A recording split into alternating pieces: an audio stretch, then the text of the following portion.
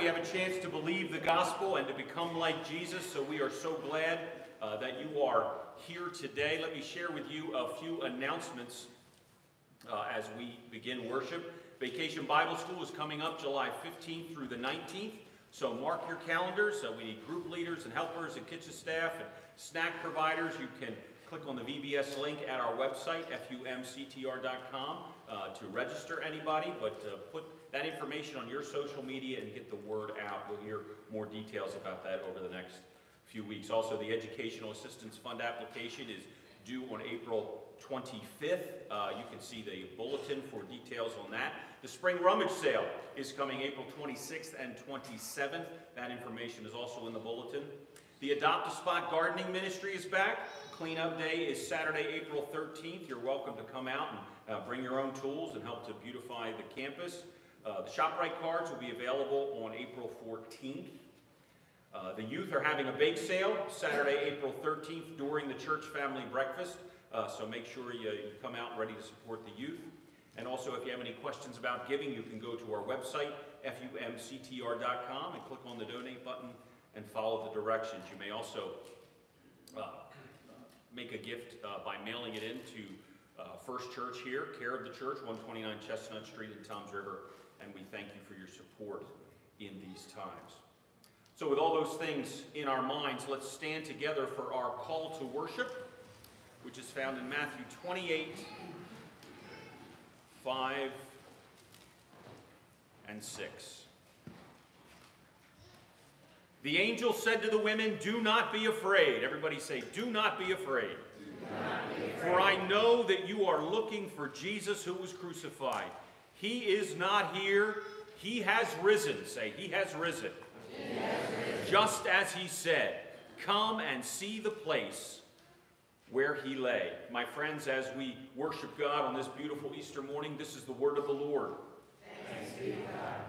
Uh, please remain standing and turn to your in your hymn books to number 302. We'll sing verses 1 through 4 of Christ the Lord is risen today.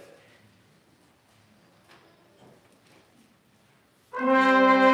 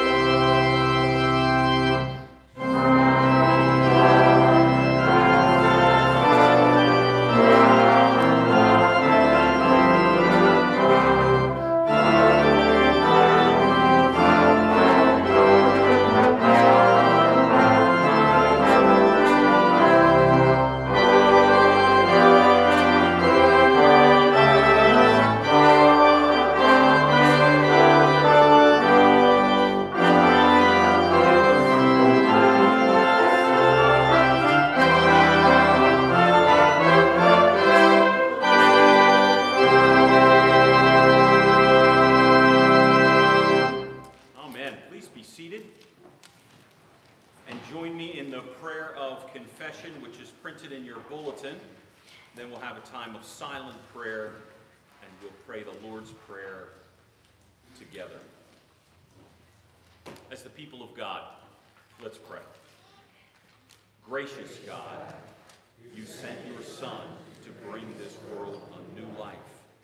As a result of Jesus' sacrifice, death is now defeated, and the offer of a new creation is available to everyone. Yet, we confess that we choose to remain captive to doubt and fear and other things that lead to death. By our thoughts, words, and actions, we have scorned your love, diminished the lives of others, and defaced your image in us. Mighty God, forgive us for Jesus' sake, and enable us to live no longer for ourselves, but for him who conquered death and rose from the grave for our salvation. We ask all this in Jesus' name. Let's continue in silent prayer.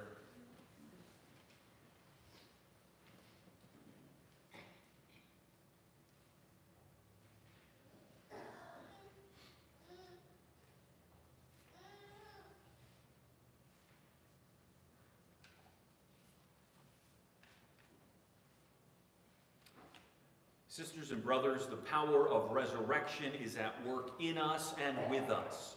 The Spirit of God leads us onto paths of victory over sorrow and death, disbelief and fear. Receive God's grace and forgiveness in the secret place in your heart where there are no words. For the forgiveness of God is too marvelous for simple words. God has forgiven you in Jesus' name, the very one who taught us to pray. Our Father, who art in heaven, hallowed be thy name.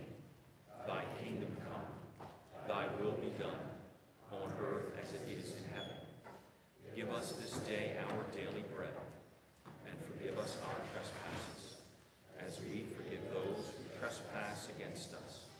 And lead us not into temptation, but deliver us from evil. For thine is the kingdom,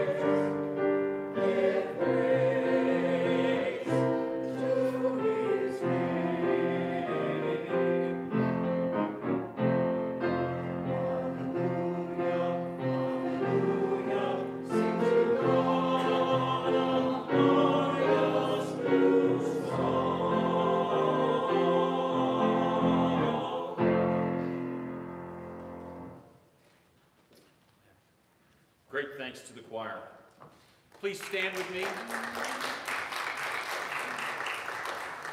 Please stand with me for our responsive reading, which is printed in your bulletin. Glorious God, we celebrate with joy an empty tomb. In your resurrection, you defeated death.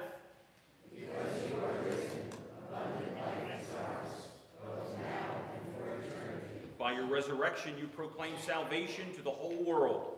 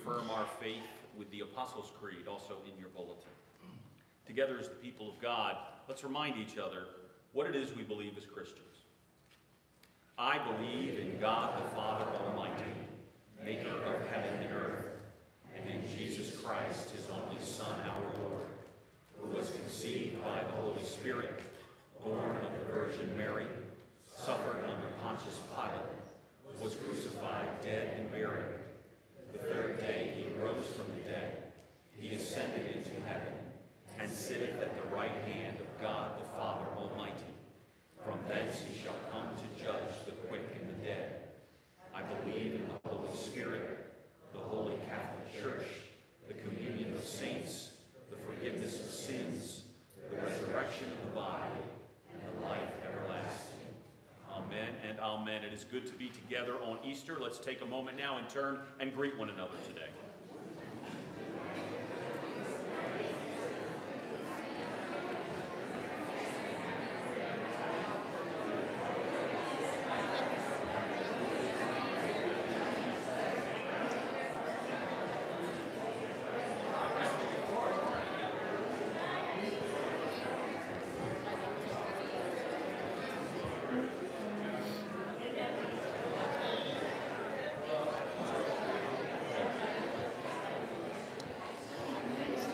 Happy Easter.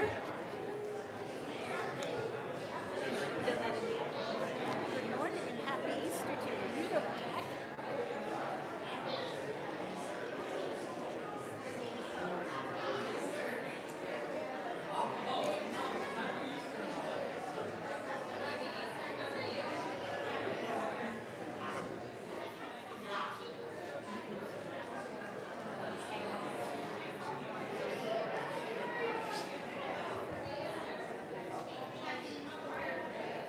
It is good to be together with the people of God this day of resurrection. As we prepare to go to prayer today, uh, please be praying for all those listed on our prayer list. Uh, that gets updated weekly. That's a great tool for your week uh, for your daily prayers. Uh, also, please add to that Gloria Lapsley, who's recovering from surgery, and also all those folks who are affected by that bridge accident in Baltimore. Also, pray for the Staff Parish Relations Committee as they work with Reverend Yoick Kim and his wife Hyun Suk. Uh, they will begin at First Church on July 1st, so please be praying for them. Also, pray for our brothers and sisters all over the world as th- things seem less and less stable every day, especially in the Holy Land, in Ukraine, and in Iran. Uh, may the hope of the resurrection in us, may that hope that we have show the world there is a better way than the way things are going. And also on this day of resurrection, our thought for the month is from the late Reverend John R.W. Stott, who said, We live and then die. But Christ died, and now he lives. Let's go to prayer. Bow your heads. Good morning, Lord of the resurrection. In your great love for each and every person everywhere in all times, you sent your only Son so that whoever believes in him will have eternal life. He was born into a broken world, yet brought the hope of salvation. He preached in the world about turning to God and the coming kingdom of heaven. He healed the sick. He cast out demons. He gave sight to the blind. He raised people from the dead. And just when his followers suspected him to rise to greatness, he was crucified. They slept that night after his death, lost and not knowing what happened to their purpose. Lord, many of us go to bed with that same confusion. But we awaken today to the full promise that Jesus has overcome death and sin. Others went to bed last night with no thought of their souls. So, God, may they be surprised by the hope of the resurrection. May they see you clearly in us so that they might believe. May the whole world be surprised by the resurrection and this promise of new and eternal life. May the resurrection seep into every crack and crevice of the world and overcome every evil thing. May the risen Christ reign in every defeated heart, every victimized soul, every human being, and in all of creation. Today, Lord, we rejoice with you as we witness the emptiness of the tomb and the fullness in our hearts. We are grateful for beams of sunlight warming our spirits flowers bringing beauty to the eyes, and the song of birds filling the air with music. In the past week, we have journeyed with you from the triumph of Palm Sunday to the confusion of Holy Thursday and the downright despair of Good Friday. You, Lord, have experienced the highest of highs and the lowest of lows. Through Jesus, you have known pain and suffering and death. And your response to torture and betrayal and the grave was not despair. Your response was not hopelessness. Your response was not finality, but rather infinite and unconquerable love. You have showed us that loss and hurt are not the end. They can be a new beginning. We pray that you will take the place of brokenness in our lives and help us to move toward a new beginning. Give us eyes to see the light instead of the darkness. Lord, turn us into Easter people. Turn us into people of joy who live so others may also have our hope. And remind us that unspeakable horrors in Ukraine and the Holy Land and Iran, power grabs in politics, and unrest in the universe can never defeat the message of your love to the world. For he is risen. He is risen indeed. And we pray in the wonderful, resurrected name of Jesus, who loves us forever and proved it on the cross. Amen and amen.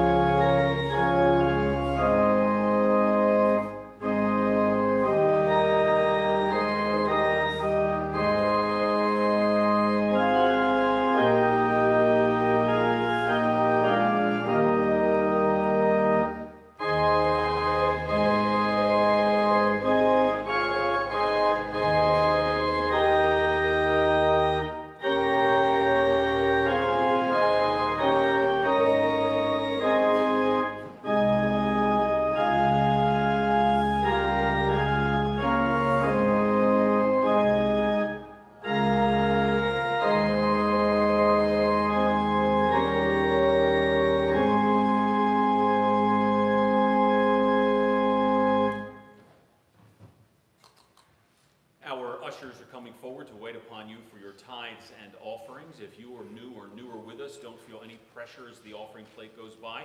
We want you to feel the warmth and the welcome of God's people. But those other, others of us who have gathered here know why we give. We give for one reason so that ministries can be developed, so other people can know what we know that the God who emptied the tomb and rose from the dead loves them forever. It's the only reason there is to give, and that's why we give today. Let's pray. Lord, thank you for everything. You overwhelm us, you empower us with your love, and you remind us, Lord, that regardless of what we experience in this life, you love us forever. And we hope by our worship today, other people will know that same powerful truth. And we'll thank you forever in the wonderful name of Jesus. Amen. Música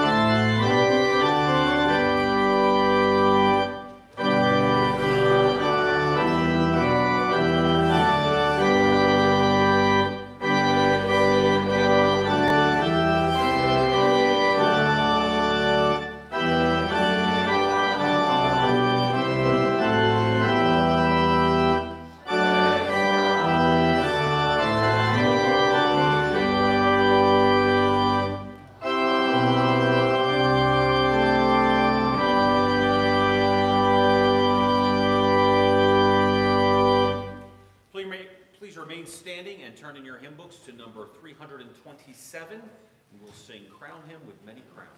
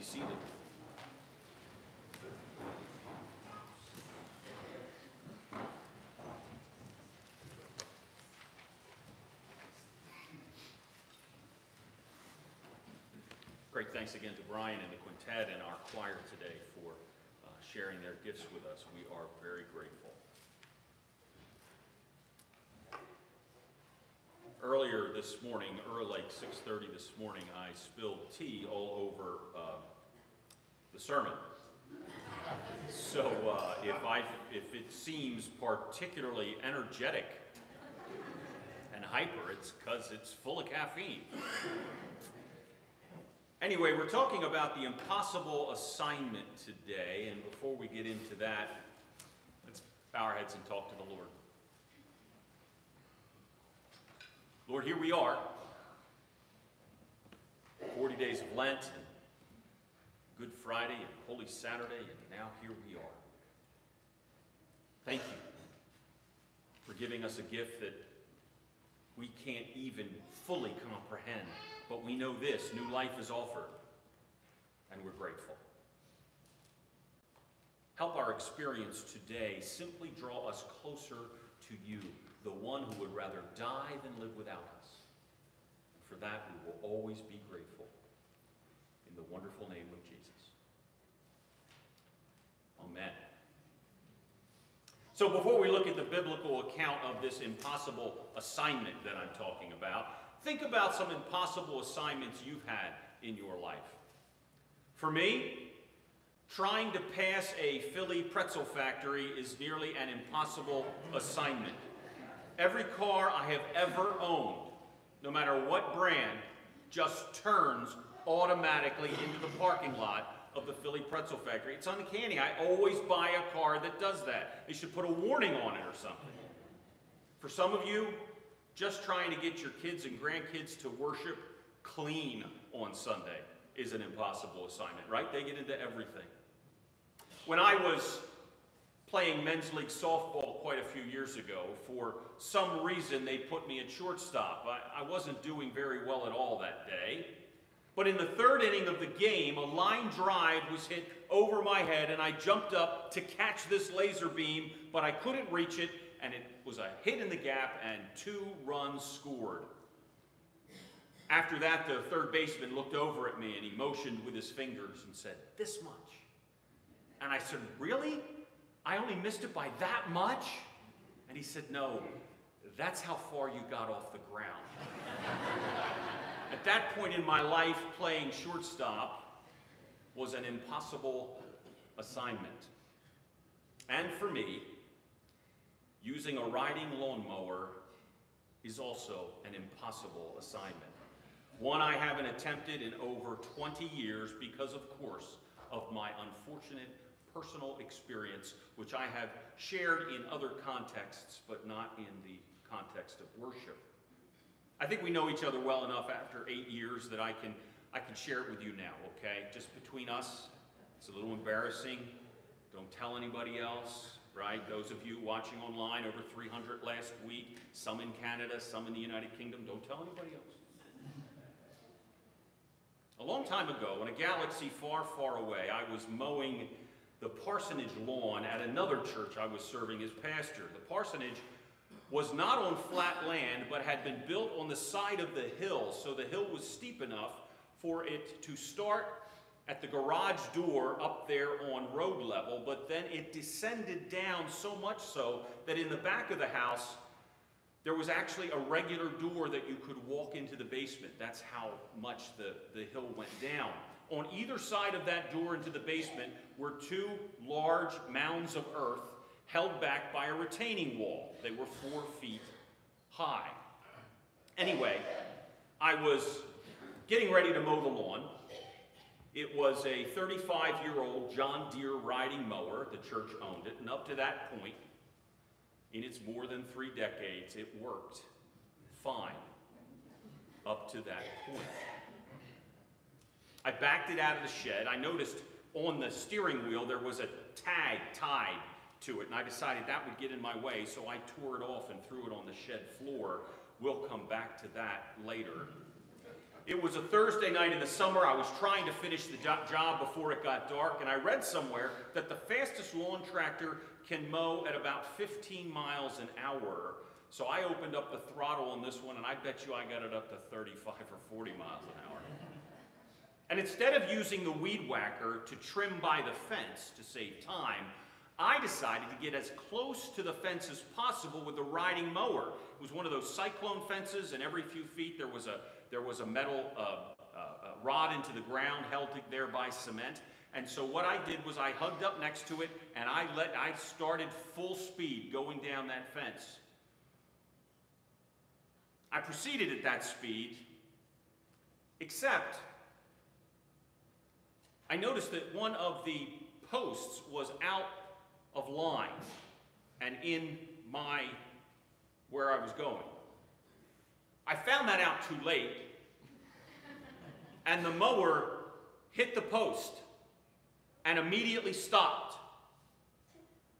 I, however,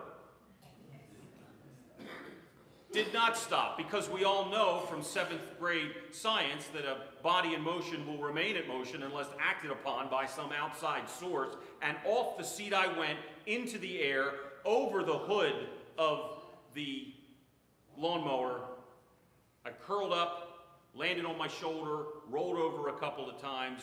I immediately bounced right up and said, I got to get this done by dark.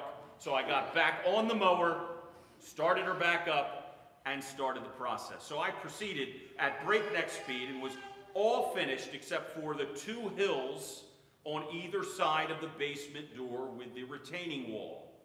So up the hill I went. The retaining wall was here. Up the hill I went, and then I came down the hill. That was my plan. Up the hill and down the hill. Up the hill and down the hill. Right, you got it. The problem was that was too much for the, for the engine to take all that up and down. So I decided to go side to side by the retaining wall. And it was going well, but at this time I should probably tell you what the tag that was tied to the steering wheel that I threw away said. I found out later it said this Do not drive this mower. Repairman coming tomorrow. The brakes do not work. And on that third turn by the retaining wall, I discovered that the tag warning of the bad brakes that I discarded was absolutely correct. On that third turn, I went over the retaining wall. If you're as old or older than me, do you remember Evel Knievel and Snake River Canyon? The chute did not come out, and I went over and came down. And, uh, you know, the front of the mower hit the cement pad at the bottom, and when it hit the cement pad at the bottom, it stopped immediately. I, however, did not stop immediately. And with the second time, within 15 minutes, I was out of the seat, over the hood, and I came to a complete stop after my face, I always lead with my face, after my face hit the cement pad, scratched it all up, bloodied it, and I fell down in a clump. At that point, I immediately jumped up and said, I've got to get this lawn done. and I took this, this lawnmower, which was now you know, perpendicular to the ground with the butt of it sticking up in the air. I pushed it over, smashed in front, sat in the seat, turned the key, and it started right up. How is that possible? Well, Ryan will tell you, nothing runs like a Deere. So I got going. I decided, you know what, this is about, you know, that was two times. I'm finished. So I drove it back up to the shed. My youth pastor saw me coming up and, you know, bleeding and looking like a horror, uh, looking like a horror movie, and, and uh, he never let me forget that. Anyway, to commemorate the event, my church gave me a little gift. It's a toy riding mower about that big with a crash dummy driving it. Remember the crash dummy craze? And this toy, when it hits something front on, it explodes into a number of pieces. So they were a very compassionate church in my time of need. Uh, you know, nothing like First Church for sure. So for that day, driving a riding mower was an impossible assignment for me. So I want to take a look at another impossible assignment found in Matthew 27. It's the impossible assignment the Roman guards had after Jesus was buried in the tomb. Listen to Matthew 27, starting in verse 57. As evening approached, there came a rich man from Arimathea named Joseph, who had himself become a disciple of Jesus. Going to Pilate, he asked for Jesus' body, and Pilate ordered that it be given to him. Joseph took the body, wrapped it in a clean linen cloth, and placed it in his own new tomb that he had cut out of the rock. He rolled a big stone in front of the entrance to the tomb, that is, he and a number of people, and went away. Mary Magdalene and the other Mary were sitting there opposite the tomb. The next day, the one after the preparation day, the chief priests and the Pharisees went to Pilate. Sir, they said, we remember that while he was still alive, that deceiver, talking about Jesus, said, After three days I will rise again. So give the order for the tomb to be made secure until the third day. Otherwise, his disciples may come and steal the body and tell the people that he's been raised from the dead, and the last deception will be worse than the first. Take a guard, Pilate answered answered, Go, make the tomb as secure as you know how. So they went and made the tomb secure by putting a seal on the stone and posting a guard of multiple soldiers. So, what is their impossible assignment? Well, trying to keep Jesus in the grave, of course. For centuries, ever since that first request of Pilate 2,000 years ago, people have been trying to keep Jesus in the grave, whether we humans adopt new philosophies of life that declare human centrality as the purpose of our existence, or we adopt a worldview that declares that I'm the master of my universe and the only decision maker that matters is me, or we decide to live by that new golden rule, you know, the one that teaches he or she who has the gold rules. We've been trying to keep Jesus and his influence locked in the tomb since that seal was first set by those guards. Well, here's some good news on this 31st day of March. God is greater than our philosophies, our economies, and our technologies. Try as some might, it is impossible to keep Jesus in the tomb. So let's consider a few reasons why that's true, okay? It's impossible to keep Jesus in the grave because God is stronger than our efforts. The soldiers were instructed to make sure the large stone was covering the tomb and that it was sealed. It would probably have Pilate's mark on it, and the warning would be clear. If you open this tomb, you will be executed, just like the one who's on the other side of this stone. It was a message to Jesus' followers. Do not take this body and pretend that Jesus rose from the dead, or you'll end up like your master. Now, with the guards posted, there was no way any followers of Jesus could have taken the guards over and opened the tomb anyway. But what happened? Well, we see in chapter 28 in verse 2 For an angel of the Lord came down from heaven and going to the tomb rolled back the stone and sat on it. We discover that an angel broke the seal and rolled back the stone. The squad of soldiers could barely move the stone into place, and all of a sudden, this angel moves the stone as if it were nothing at all.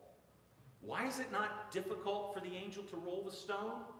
Because God is stronger than our effort. Say to the person near you, God is stronger than your effort. God is stronger than your effort. For two millennia, people have been trying to keep Jesus in the grave. That order to the soldiers was the first time people ever tried to keep Jesus in the grave. It's been tried in every century through different philosophies, different religions, different theories, and mostly by our own denial. But the reality is, Jesus got out on the third day and he lives. That's why a group of uneducated fishermen suddenly went from being scared and unsure of themselves, right? They all deserted Jesus when he was arrested to being some of the boldest people who ever took a breath. So bold, they were willing to die for the truth of Jesus' resurrection. All but one were martyred, and the other one died in prison of old age. They discovered God was stronger than their efforts. We like to be in control. And no matter what we try, hope for, or convince ourselves of, Jesus can't be controlled by us. He rose from the dead to prove that he's the Savior of the world, and we have to deal with that reality. Jesus is stronger than our effort. Next one. It's impossible to keep Jesus in the tomb because God is stronger than our fears. I love the end of verse 2 in chapter 28. I missed it the first few times I read it years ago. After the stone is rolled away, the angel sits on it. It's as if to say, before he addresses the women at the tomb, this is what you were afraid of? This is what you were weeping over? This is what has you so discombobulated? This is your major malfunction? Well, it does make a rather comfortable chair. The angel said to the women in verse 5, Don't be afraid, for I know that you're looking for Jesus, who was crucified. The thing that scared the disciples the most, the thing that made them scatter, the thing that made them doubt their life, is handled by God's servants so easily, he even has time to sit down and relax a little bit. He conquered and sat on what we fear the most the death of our hope. When I was in seventh grade, I was rather quiet and shy, and I usually kept to myself, especially when it came to avoiding bullies. Have you ever had to deal with a bully before? But one day I wasn't so fortunate. Timmy, one of the bullies, had my number. He wasn't physically intimidating, but he was loud and he had a mouth and we were kind of all afraid. So he comes up to me. I happened to be the lucky guy that day. He came up to me and started just verbally abu- abusing me and over and over and over again. And I just, you know, I'm an advocate for peace. And I decided I'm not going to say anything. I'm not going to acknowledge him at all. And it drove him crazy to the point where he just hauled off and slapped me across the face. And all those seventh graders all around said, ooh, right? So let the church do that. What did they say? You know how that is.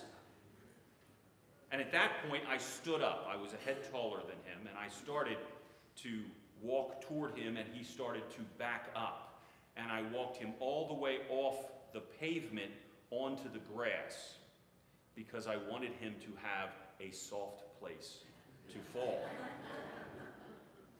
I didn't say anything to him. I kept walking him. He kept talking. Finally, he slapped me again. At that point, I took him by the shoulders. I wound up a little bit and just pushed him down so that he couldn't hit me anymore and he'd be separated. At that moment, all of these seventh graders, 20 of them, who all said what? All those seventh graders ran over and sat on Timmy. You see, they realized he could be defeated, and they all got confident about it, and they didn't fear him anymore. And Timmy lost his job as the bully that day. I'm wondering today about what you're afraid of. Loneliness, sorrow, never being loved, a good relationship, a bad relationship, a difficulty at work, a difficulty at home, something which drags you out of your comfort zone, trouble with your child, trouble with your parent, struggles with your spouse, uncertainty about anything in your life. I assure you today, just as the stone was an angel's lounge chair after the resurrection, Jesus is sitting on your problem because he has already conquered it. He's already rolled it away. He already has power over it. And the more we realize that, like seventh graders on the playground, the more we realize that, like seventh graders on the playground, we'll want to sit on those problems as well because we know they've been defeated. Friends, our greatest fears have been conquered. Jesus, who has lived through everything you and I have lived through, has won the victory. There's no need to be in fear anymore. Another one on this resurrection morning. It's impossible to keep Jesus in the tomb because God is stronger than our conceptions. That is what we conceive and think about. Those things are limited for us.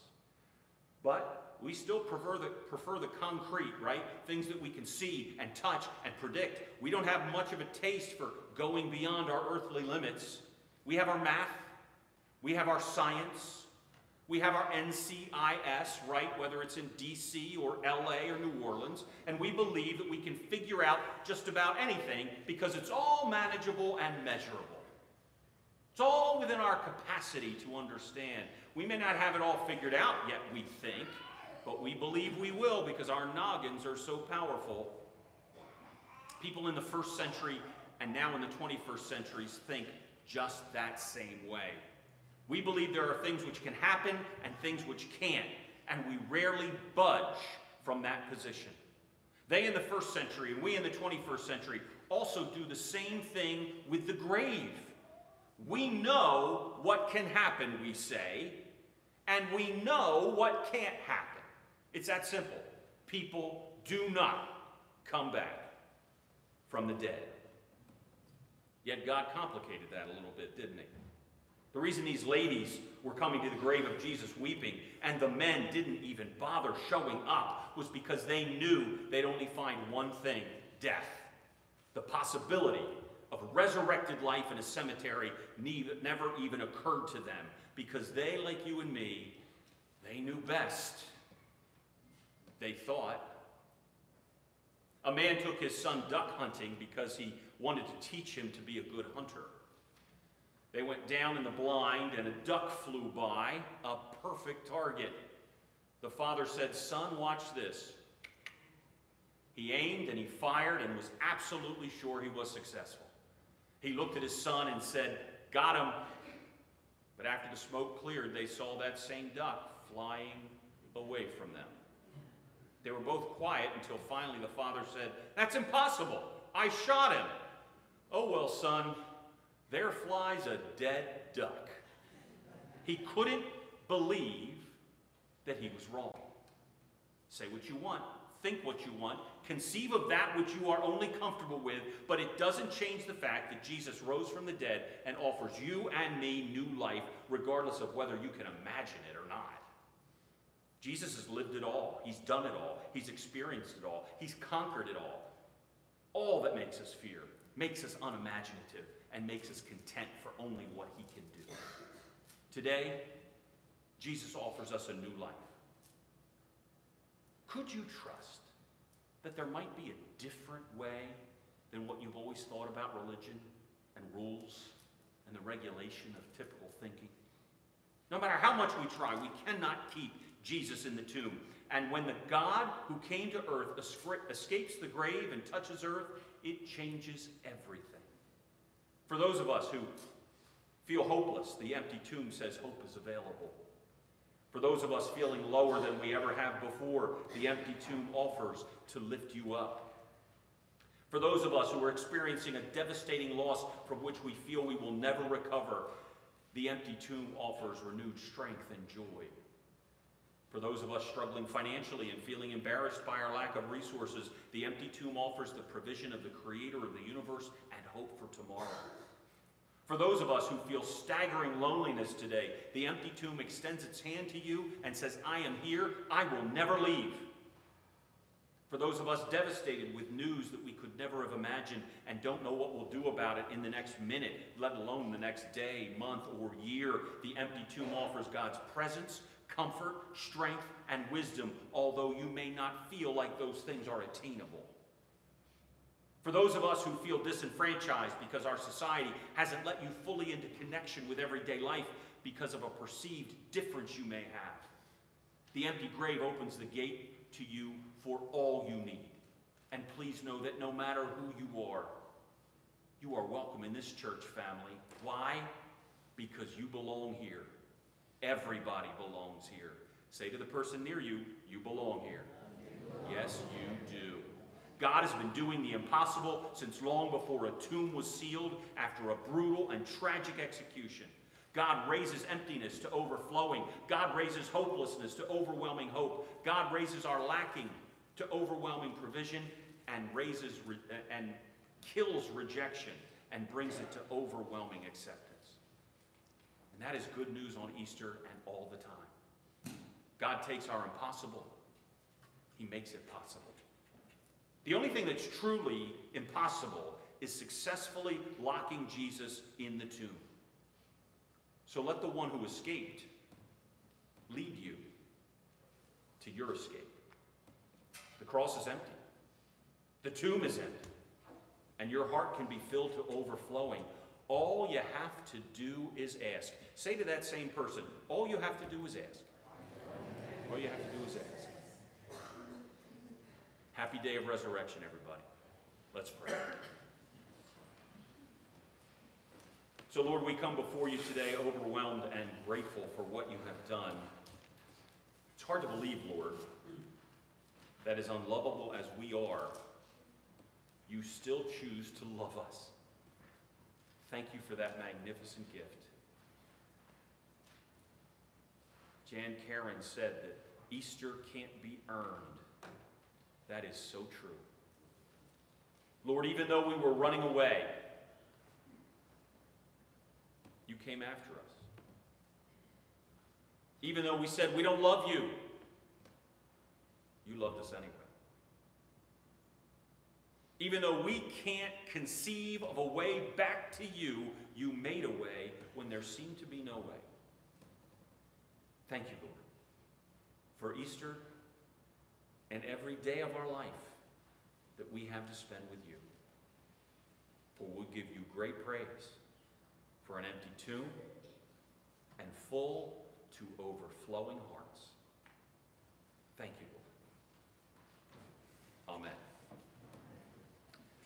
Turn with me in your hymn books to number 159, Lift High the Cross. And let's stand and worship God.